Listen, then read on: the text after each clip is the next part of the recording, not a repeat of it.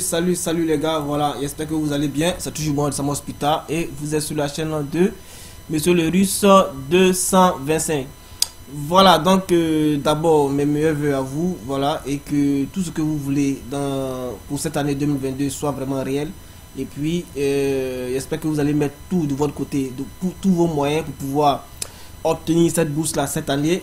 Voilà, donc euh, c'est le vœu que je peux vous souhaiter et essayez de me donner une pouce bleu. Essayez cette année aussi de suivre mes vidéos parce que il y a plusieurs opportunités, il y a plusieurs chances de les avoir.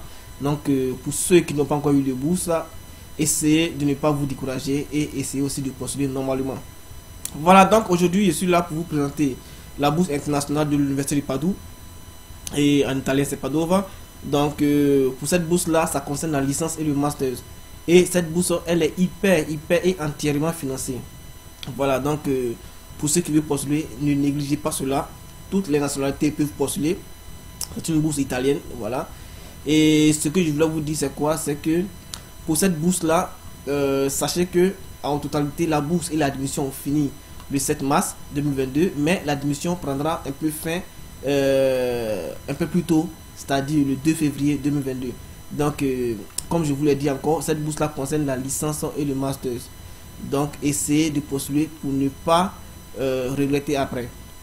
Donc, pour ceux qui peuvent postuler, ce sont, les ce sont les étudiants qui ne possèdent pas la nationalité italienne. Il faut être titulaire d'un baccalauréat pour, voilà, pour ceux qui veulent faire la licence et puis d'une licence pour ceux qui veulent faire le master. Voilà, donc euh, ne pas résider en Italie aussi, c'est une euh, des critères. Et puis, euh, vous pouvez postuler à au moins euh, 3 au maximum, je vais dire comme ça, au maximum 3 programmes pour cette année. Voilà, donc euh, pour ceux qui veulent postuler, c'est déjà très important.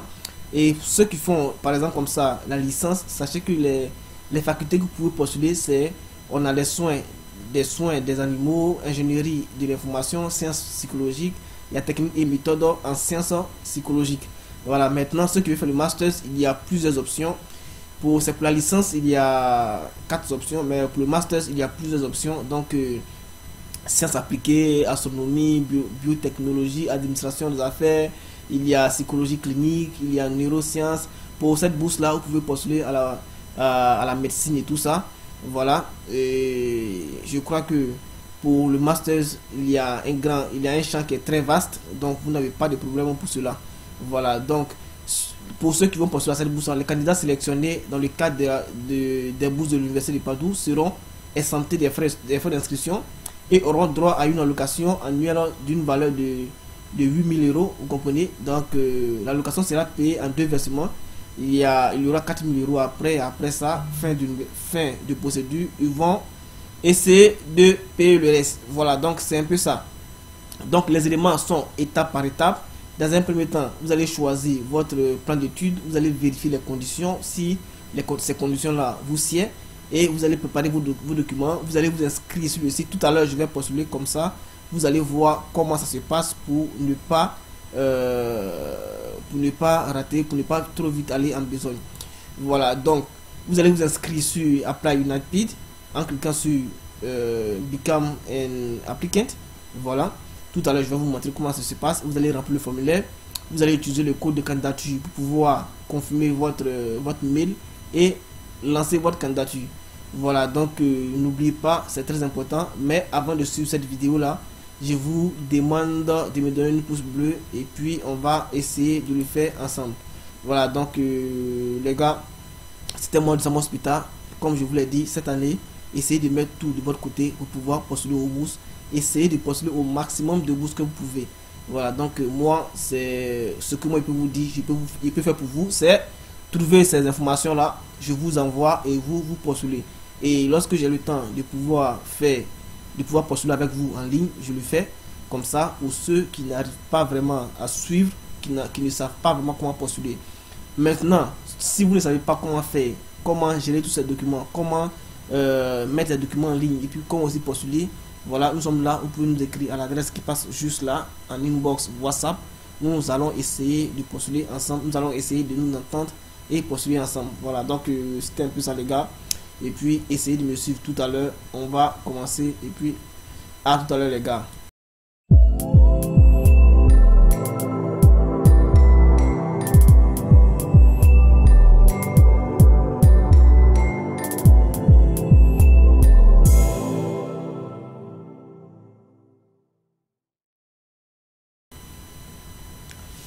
Allez, salut les gars. Voilà, donc, euh, comme je vous l'ai dit, vous êtes toujours sur la chaîne de Monsieur le Russe 225.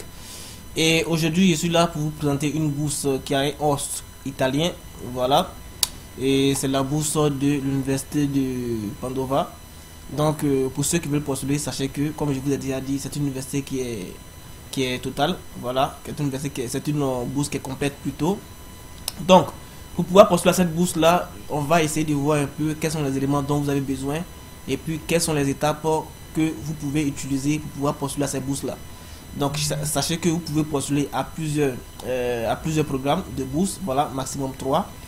Donc euh, pour ceux qui viennent juste de voir le site là qui est là, essayez de vous abonner, essayez de me donner une, une pouce bleu, voilà, avant de commencer. Donc ici par exemple comme ça, pour postuler à cette bourse là, vous, allez d'abord vous enregistrer sur le site et tout ça en venant là. Mais d'abord, je vais mettre en français. Comme ça, on va voir un peu euh, les éléments dont vous avez besoin pour pouvoir postuler à cette bourse-là. Donc ici, ils disent quoi? Ils disent que si vous avez obtenu un titre de qualification d'entrée italien, vous n'avez pas postulé sur cette plateforme. Il y a une autre manière, mais pour vous, c'est pas pas le cas. Voilà. Et si vous avez obtenu un baccalauréat, un diplôme d'études secondaires, d'abord ceux qui peuvent postuler à cette bourse-là, sachez que c'est ceux qui ne sont pas italiens ce sont les étudiants étrangers, voilà, et ceux qui ne vivent pas aussi en Italie. Voilà, il faudrait que vous sachiez cela. Et comme ça, tous ceux qui sont hors d'Italie, voilà, et qui ne sont pas italiens aussi, même si vous êtes étranger et que vous êtes en Italie, c'est pas la peine de postuler, vous ne pouvez pas postuler. Voilà, donc, ici, on dit, euh, si vous avez obtenu un baccalauréat, un diplôme d'études secondaires international, veuillez, veuillez suivre les instructions ci-dessous. Donc, euh, c'est-à-dire que cette bourse concerne immédiatement et intégralement les étudiants étrangers. Sélectionnez votre programme d'études jusqu'à 3 par année universitaire, vous comprenez? Donc, comme, ce que je vous disais, euh, un maximum de, de 3 programmes. Vous pouvez postuler à 3 programmes. Voilà. Donc, euh, à l'aide de l'outil de recherche ci-dessous, ci-dessus, veuillez noter que vous ne pouvez pas postuler deux fois pour le même programme d'études lors des différents appels. Donc, ici, lisez attentivement Vérifiez ici la liste des documents requis pour postuler et préparer-les pour, les, pour le téléchargement. Donc, dans un premier temps, je vais vous, tout à l'heure, je vais vous montrer les documents dont vous avez besoin pour pouvoir postuler à cette bourse-là. Mais rien ne change, ce sont les mêmes éléments euh, en ce qui concerne le diplôme, plus le baccalauréat, euh, le diplôme, plus les relevés du Nord et tout ça. Mais néanmoins, on va aller pas à pas pour ne pas vite aller en besogne. Donc ici, comme vous voyez là, par exemple, comme ça, on vous dit de cliquer sur connecter ou bien s'inscrire, c'est ce qui est là. Voilà, vous allez passer par là, vous allez vous inscrire. Tout à l'heure, je vais essayer de, m'inscrire avec vous pour que vous puissiez savoir comment ça se passe. Mais pour le moment, euh, on va voir les documents dont vous avez besoin pour pouvoir postuler à cette bourse-là. Donc, si vous ne vous êtes jamais inscrit auparavant, cliquez sur nouveau candidat, voilà, et insérez votre adresse email et, et un code PIN à l'usage unique apparaîtra à l'écran. Veuillez indiquer une adresse email. Donc, euh, comme vous savez déjà, l'adresse email, vous savez déjà que c'est pour juste avoir euh, le lien pour pouvoir confirmer et revenir ici pour pouvoir postuler normalement. Ouvrez votre compte de messagerie, cliquez sur le lien de vérification. Donc, actuellement, je suis ici. Cliquez sur le lien de vérification que vous avez reçu. C'est le code PIN et définissez votre mot de passe. Vous êtes maintenant prêt à vous connecter et à remplir votre demande. Ok. Donc, une fois que vous finissez, cliquez sur enregistrer. Pour enregistrer votre candidature, même incomplète, assurez-vous d'avoir rempli tous les champs et téléchargé tous les documents nécessaires avant de cliquer sur envoyer. Voilà, donc comme vous le voyez, tout se passe en ligne. Donc euh, ici, on nous dit faites attention aux retours et aux demandes d'action supplémentaires que vous recevez par email. Donc euh, ici comme ça, je vais essayer de vous montrer un peu quelle est la date limite. Donc vous venez là, postuler maintenant pour rejoindre l'année académique 2022-2023. Donc ici, je vais vous montrer un peu les documents dont vous avez besoin pour pouvoir postuler. Ici, préparez tous les documents nécessaires. Je vais cliquer là, les documents. Veuillez conserver les documents suivants prêts à être téléchargés. Une carte d'identité en cours de validité. Donc ceux qui n'ont pas de passeport, ils peuvent mettre une carte d'identité. Voilà, titre de séjour italien pour les demandeurs non européens résidant déjà en Italie. Euh, ici, relevé de note académique. Voilà, relevé de note académique, diplôme d'études secondaires supérieures. Voilà, euh, un CV, une lettre de motivation, certificat de compétences linguistiques. Ici, par exemple, comme ça, pour ceux qui feront les cours en langue italienne, vont avoir, vont devoir comme ça, euh, je dis bien en langue italienne, sont pas obligés de, de mettre un document de langue. Voilà, arriver là-bas, eux-mêmes, ils vont faire une année de langue, de langue italienne avant de pouvoir postuler. Et ici, euh, mais ceux qui, qui, veulent faire les cours en anglais, parce qu'il y a plusieurs cours qui sont en anglais, là, vous devez mettre un certificat en anglais pour pouvoir postuler. Et les diplômes relevés de notes doivent être officiellement, doivent être officiels, c'est-à-dire menu du cachet de l'industrie. Ça, j'espère que vous comprenez parce que ça fait plusieurs années que plusieurs fois que je fais des vidéos sur ce titre-là. Mais ça veut dire quoi? Ça veut dire que les documents qui sont officiels, vous allez comme ça essayer de, de certifier vos documents, voilà, avant de les mettre en ligne. Donc ici, ils ont dit study menu du cachet de, de rédiger traduit en italien ou en anglais. Donc votre document doit être traduit en italien ou en anglais. Si les documents sont publiés dans une langue différente, vous devez les télécharger avec la traduction certifiée. Voilà, donc euh, pour la certification, je vous ai déjà dit, vous allez comme ça à l'ambassade. D'abord, dans un premier temps, vous prenez vous-même vos documents, vous allez au ministère de l'Intérieur, au ministère des Affaires étrangères, ils vont légaliser, ils vont signer, et vous allez avec cela à, euh, au ministère, comment je vais dire ça, à l'ambassade italienne, voilà, et arrivé là-bas, ils vont certifier pour vous, et cacheter et certifier. Voilà, vous êtes, si vous êtes admis au programme d'études, vous devez soumettre d'autres documents, y compris les copies légalisées de votre euh, qualification précédente aucun document légalisé n'est requis au stade de la demande. Donc ici, par exemple, comme ça, on vous dit que, et ils reviennent encore ici pour vous dire que lorsque vous faites la demande, vous ne légalisez pas le dossier d'abord. Vous comprenez? Voilà, vous ne légalisez pas le dossier. C'est lorsque vous allez finir et que vous êtes euh, admis, vous allez euh, légaliser ces dossiers-là. Mais pour l'instant, faites certifier vos dossiers pour dire que vos dossiers sont vraiment officiels. Voilà, donc euh, c'est un peu ça. D'autres documents sont nécessaires pour compléter votre inscription. Pour plus d'informations, cliquez ici. Donc ici, sachez que la date limite, c'est le 2 février. Sachez que la date limite pour pouvoir postuler à ces bourses-là, c'est le 2 février. Donc euh, si je retourne vers ici, cet appel de candidature sera, se clôturera le 2 février 2022. Voilà, donc euh, je vous conseille de vite postuler, de commencer à vraiment vite postuler pour ne pas rater grand chose. Donc ici, si vous venez là, par exemple, postuler maintenant, sur postuler maintenant ici, vous allez cliquer là, vous allez voir que on vous renvoie d'abord sur le système pour pouvoir s'enregistrer et ensuite essayer de postuler. Donc ici, vous allez venir vous connecter. Ici, il y a se connecter, il y a s'inscrire. Donc vous, vous cliquez sur s'inscrire.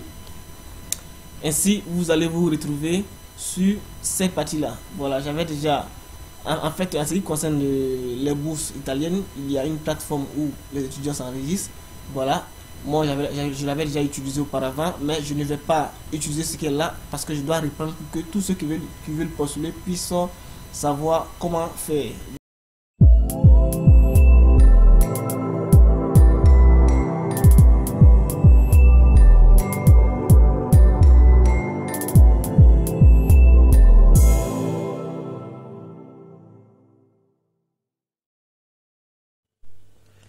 Allez, salut, salut les gars, voilà, j'espère que vous allez bien, ça du moi de Sam Hospital et vous êtes sur la chaîne de Monsieur le Russe 225. Voilà, donc si c'est la première fois de voir ma vidéo, essayez comme ça de me donner une pouce bleu d'abord avant de commencer à lire la vidéo et puis essayez aussi de partager mes vidéos. S'il y a des questions pour des vidéos, essayez de mettre euh, votre commentaire, comme ça je vais essayer comme ça de vous répondre. Voilà, donc euh, je suis juste là pour vous présenter, pour vous dire que la bourse, tant entendu, la bourse de la Turquie est déjà, lancée. La bourse de, gouvernement turc est lancée. Voilà, et vous savez déjà que cette bourse, ça concerne la licence, le master et le doctorat. Donc euh, ça, il n'y a pas, il n'y a rien à dire. Tout à l'heure, je vais, euh, je vais faire la vidéo. Comme ça, vous allez mieux comprendre et puis essayer de postuler. A plus les gars.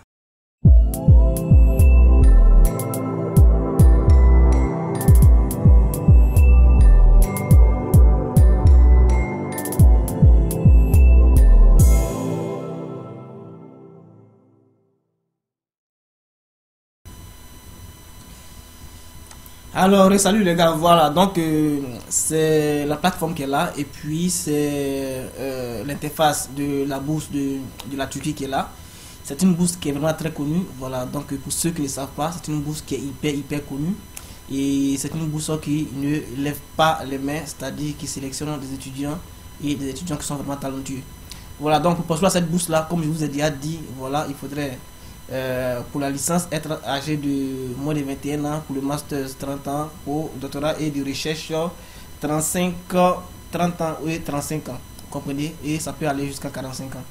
Voilà, donc pour pouvoir à cette bourse-là, on va d'abord voir quelles sont les caractéristiques, quels sont les éléments qu'il vous faut pour pouvoir à cette bourse-là. Donc, si on vient dans Turkish Scholarship, on vient dans les critères de sélection ici, les critères de critères et puis programme de bourse. Voilà, donc ici par exemple, si on prend les éléments des critères, critères minimal, je vais mettre en français comme ça, tout le monde sera au même niveau que moi. Donc euh, ici, comme je vous l'ai dit, la plateforme regroupe 8 langues. Voilà, donc vous pouvez traduire à chaque instant vos éléments ici avec le browser en français, en anglais, en arabe et tout ça. Voilà, donc ici, euh, pour les candidats du premier cycle, il faut avoir une compétence de 70%. Et pour les, candidats du diplôme, c'est-à-dire ceux qui sont déjà diplômés, c'est-à-dire qui ils ont déjà la licence pour faire le master, 75%, ou bien euh, le doctorat aussi, 75%. Maintenant, ceux qui veulent faire par exemple euh, un médecine, 90%. Ça, ça, ce sont les moyennes que vous devez avoir en termes de pour la plus grande sélection, vous comprenez?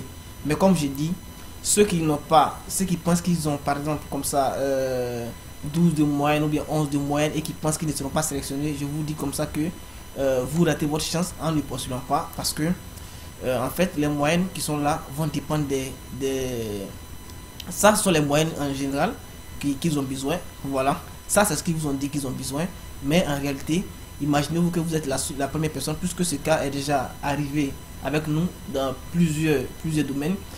Imaginez que vous avez 11 de moyenne ou bien 12 de moyenne et que vous voulez postuler dans une filière qui est vraiment très rare où ils ont besoin des étudiants. Avec 12 de moyenne, c'est possible. Donc ne vous découragez pas. Postulez dès que vous pouvez. Voilà, 12 de moyenne, 11 de moyenne, ça passe. Donc euh, ne vous fatiguez pas dire que vous ne postulez pas. Pour cette bourse-là, vous ne payez rien.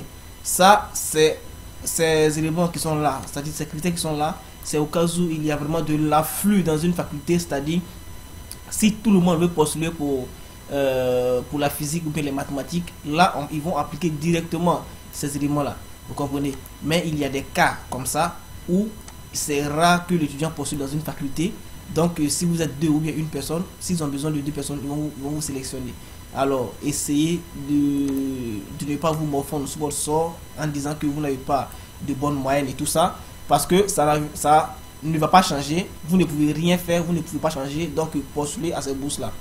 Voilà, donc euh, après cela, voici les critères d'âge pour le programme de premier cycle. C'est moins de quoi? Moins de 21 ans. Et ceux du master 30 ans, comme je vous le disais, doctorat 35 ans et ceux de recherche 45 ans.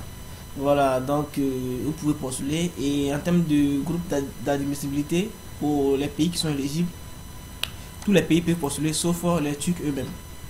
Voilà, donc euh, vous n'avez pas grand chose à perdre.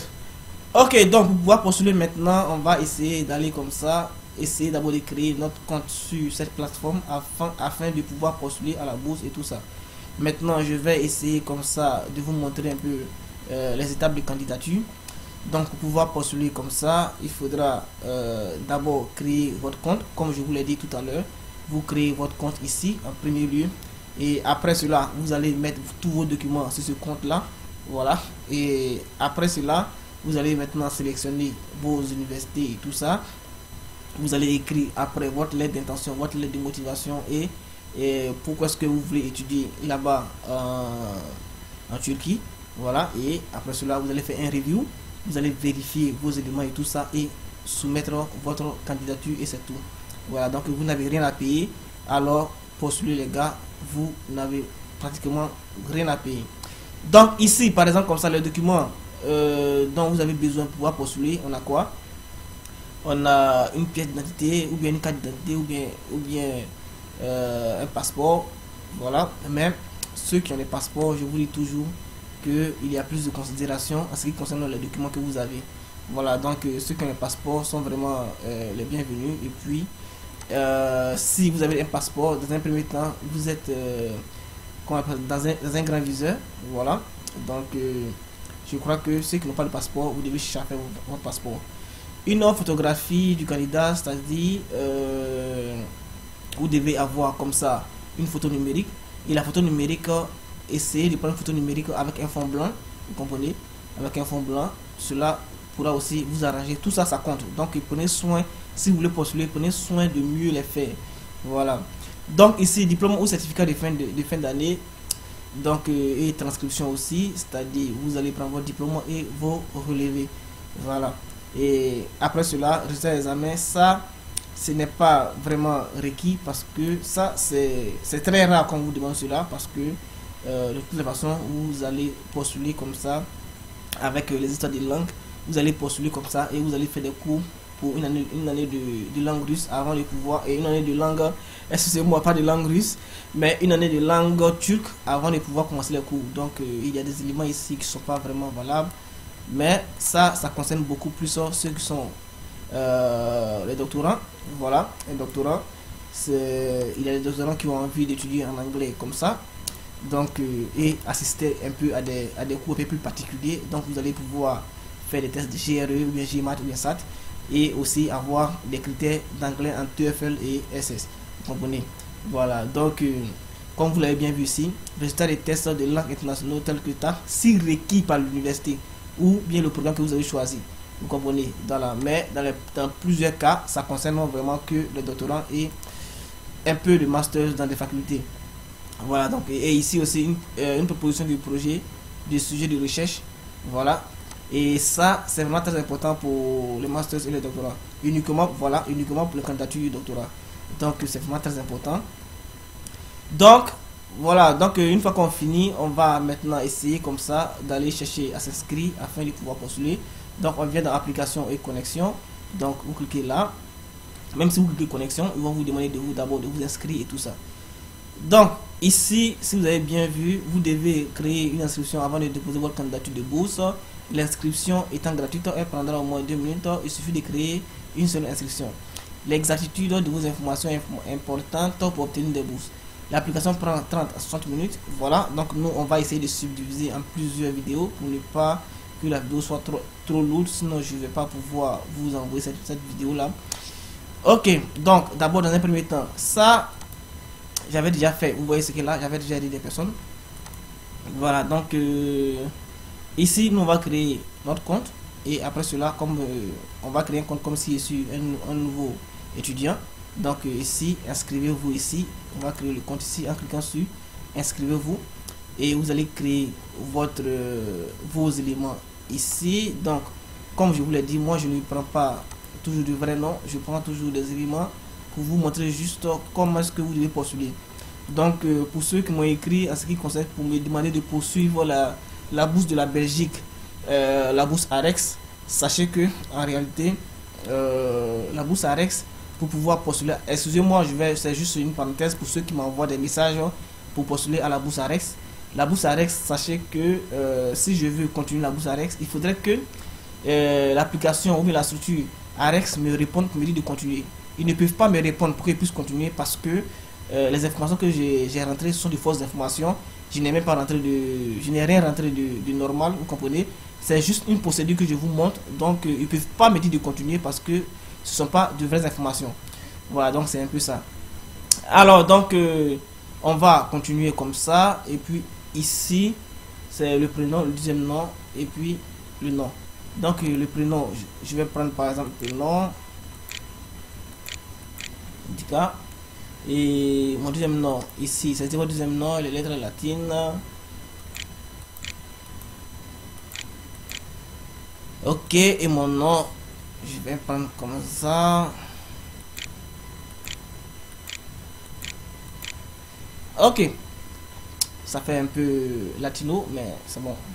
Donc, euh, le sexe, la date de naissance, vous choisissez votre date de naissance. Ici, euh, étant donné que je vais considérer que je viens pour la licence, donc je vais considérer que je suis né par exemple la licence avec moins de moins de 21 ans, donc je considère que je suis euh, j'ai 20 ans. Voilà, si j'ai 20 ans ou bien 19 ans, bon si j'ai 20 ans c'est un peu plus mieux. Donc euh, nous sommes en 2000 en 2022. Alors si j'ai 20 ans, je dois être né en 2002, mais je considère que je suis né comme ça en 2003 ou bien 2004. Je vais considérer que je suis né en 2004, comme ça je serai éligible à pouvoir postuler. Parce que si vous mettez une date qui n'est pas très, éligible, le système peut vous bloquer, le système peut vous dire que vous n'êtes pas éligible à postuler, donc vous ne pourrez pas postuler. Donc je considère que je suis né en 2004, comme ça. Donc je suis né en janvier 2004, le 6 janvier 2004. Voilà, donc la nationalité Côte d'Ivoire. Ok, et maintenant ici, mon email.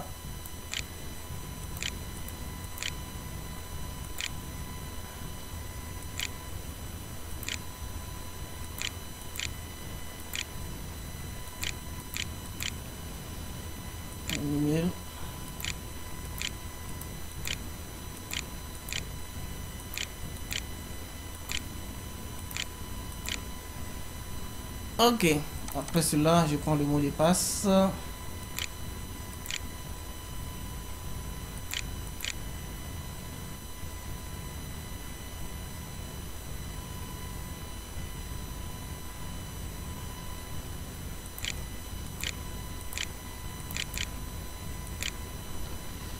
Ok. Une fois que j'ai fini avec le mot de passe, je ressaisis ici le mot de passe.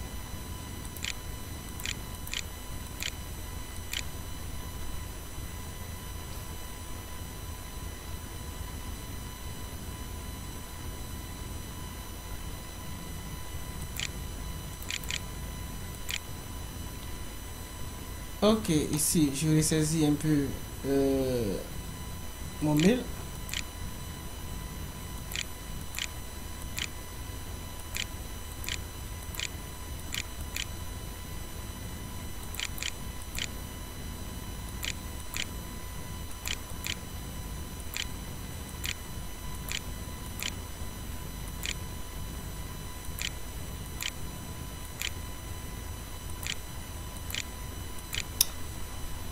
Ok, je crois que ça va maintenant. Donc, euh, après cela, ici, vous devez poser une réponse, une question et une réponse secrète.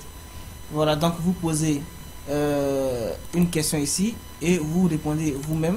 Ça sera comme ça euh, votre, votre mot de passe, votre lien de secours. Si votre compte est bloqué, vous pouvez comme ça récupérer cela rapidement. Donc, ici, je vais mettre votre pays.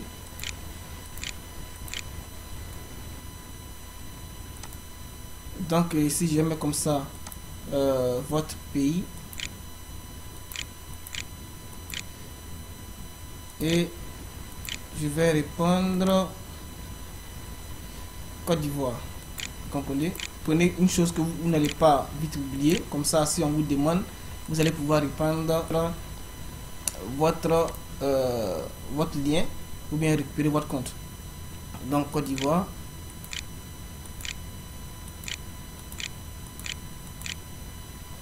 Ok, donc après cela, je ne suis pas robot. S'il y a un souci, ils vont nous dire et on va reprendre. Donc euh, voilà, on peut faire des erreurs partout. Ok, je vois que ça va. Et maintenant, je vais enregistrer ici. S'il y a un souci, ils vont nous faire signe et puis on va aller rectifier. Ok, assurez-vous que votre nom, prénom sont corrects. Utilisez dans le nationalité cannot be changed in the next step. Donc euh, ici, on nous dit de bien vérifier parce que euh, la nationalité, on ne pourra pas changer après. Donc vérifiez très bien si tout va bien, vous confirmez et puis vous enregistrez. Voilà, donc euh, vérifions. Donc ici, euh, monsieur Tantan, votre enregistrement est achevé avec succès. Nous vous remercions d'avoir choisi la bourse de Turquie. Nous avons envoyé un lien. Voilà, donc vous allez partir sur ce lien-là, vous allez cliquer. Et attention, le courrier électronique d'activation devient nul en cas d'absence d'approbation pendant 48 heures. Donc euh, en deux jours, si vous ne cliquez pas sur le lien, vous allez devoir reprendre. Ces courriers électroniques sont parfois considérés comme spam. De ce fait, n'oubliez pas de contrôler la boîte de courrier spam ou bien junk. Donc, ici, euh, sous 48 heures, si vous ne, ils ont déjà envoyé un message. Donc on va aller là-bas pour aller voir et essayer de répondre à ce message-là. cliquer sur ce message pour confirmer notre, notre lien. Voilà, pour dire que nous voulons vraiment postuler et que c'est notre, euh, notre boîte email. Et lorsqu'on va finir comme ça, n'oubliez pas, si vous partez et que vous ne trouvez pas cela dans la boîte normalement, c'est-à-dire où les messages viennent, essayez d'y dans, dans le spam. Parfois aussi, ils envoient ce message là-bas. Voilà, donc on va aller comme ça dans notre boîte comme ça pour aller vérifier. Et euh, si on a le lien là-bas, on va confirmer et puis on va essayer maintenant de passer à l'étape suivante. Voilà, l'étape suivante, ça sera pourquoi? Ça sera de mettre maintenant nos dossiers créés sur la, sur euh, sur la plateforme, essayer de mettre aussi nos dossiers et tout ça. Donc je viens dans mon mail ici pour voir un peu si j'ai reçu des messages. Comme ça, je pourrais continuer à postuler. D'abord, on va confirmer et maintenant essayer de continuer à postuler. Donc, euh, on, va on va attendre que l'élément charge un peu. Voilà, donc comme vous l'avez vu là, Turkish Scholarship. Donc, je viens là. Voilà. Je viens là. Et puis, euh, il y a un lien là. Donc, vous allez cliquer sur ce lien pour pouvoir confirmer votre, euh, votre boîte, pour pouvoir confirmer votre identité. Voilà. Donc, une fois que je clique là, sous le lien qui se trouve en bleu, vous voyez, ici, c'est en, langue turque, mais ça veut dire que euh, ça veut dire félicitations. Vous pouvez maintenant commencer à postuler que et que vous êtes bien enregistré. Donc après cela, vous cliquez sur ici, donc ici là, et ça vous envoie directement sur la plateforme. Vous voyez ici, voilà, et vous remettez maintenant vos éléments pour pouvoir commencer à postuler. Voilà, les éléments, c'est-à-dire votre mail que vous avez et votre mot de passe que vous avez créé et vous cliquez sur se connecter pour pouvoir commencer maintenant à postuler. Voilà, donc euh, je vais faire un breaking, je vais m'arrêter là. Et puis je vais faire une vidéo tout à l'heure pour pouvoir continuer. Donc les gars, donnez-moi un pouce bleu.